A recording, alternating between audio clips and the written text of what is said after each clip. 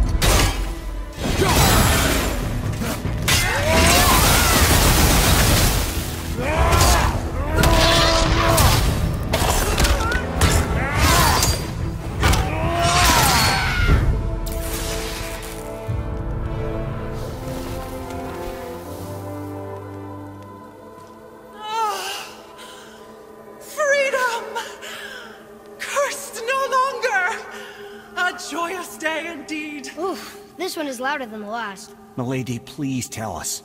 Why were you in this physical form? Why fight us? I do not know.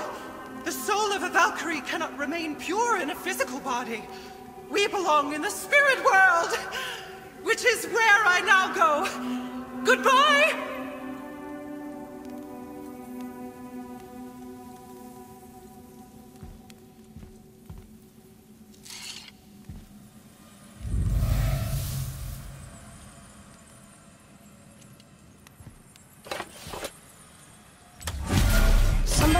This way. Who? And why? I... I wouldn't want to speculate. You know something. Ah, Mimir, the smartest man alive. I know many things. Ed,